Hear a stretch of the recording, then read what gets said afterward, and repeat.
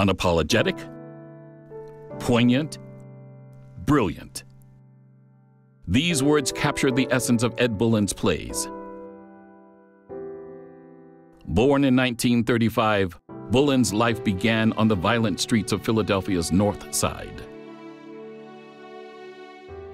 At a young age, he was almost stabbed to death. It would be a life changing experience that was reflected in his later works. As the chaotic 60s played out in America, Bullins became a key player in the black arts movement, the artistic expression of black power. He used his skills as a playwright to educate black audiences about the power of their racial trials and tribulations. He wrote over 50 plays, including Going to Buffalo and In the Wine Time, which challenged white superiority and promoted black pride. However, his most widely acclaimed play would be 1975's The Taking of Miss Janie.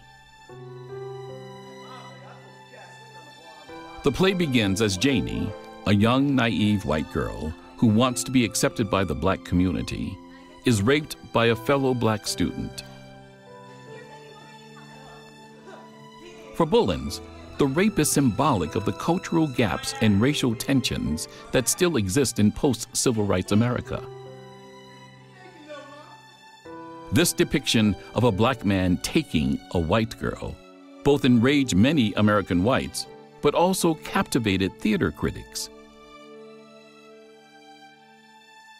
As a result, The Taking of Miss Janie would win Bullins an Obie and a New York Drama Critics Circle Award. About the play, he said, I don't write to please the audience and reassure everyone that we agree, just so it makes them examine themselves. In a work like this, the truth is open ended. Like Hemingway said, if I wanted to send a message, I'd go to Western Union.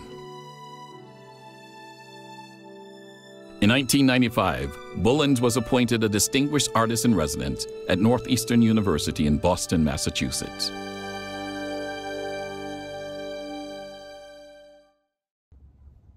Hi, I'm Bill Ambrose. If you like this video, subscribe so we can bring you more programming from our studio.